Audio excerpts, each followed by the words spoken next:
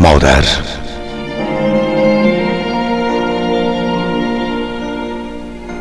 سروده از بانو صالح رشیدی.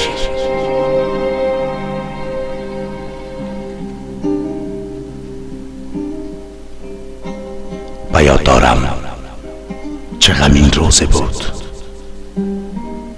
که چشمان پرفروغت را برای ما بستی.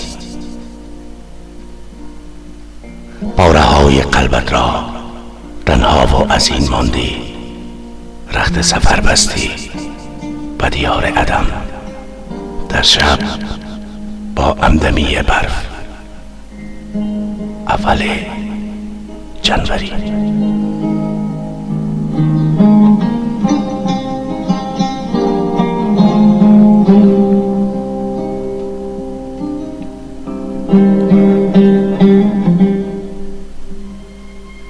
چه غمین لحظه ای که نفست سرد شد.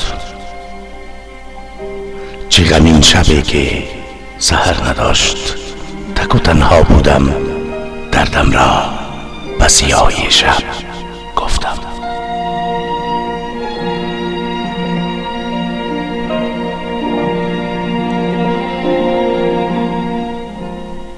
شب من در لابلای غم مرگ تو را با تنهایی وحشت بار صاب کردم.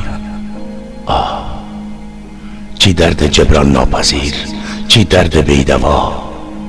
روز غمین را به یاد دارم که با زنگ تلفن دنیا را از من گرفتن.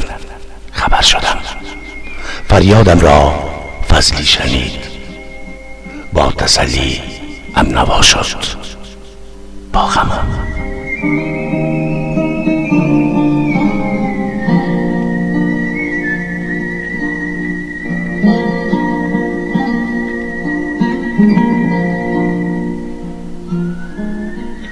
کاش خواب می دیدم و تو زنده با آسمان پرواز می کردی و ای کاش این روز در تاریخ نمی بود که قلب از حرکت می ماند قلب یک مادر قلب یک زن.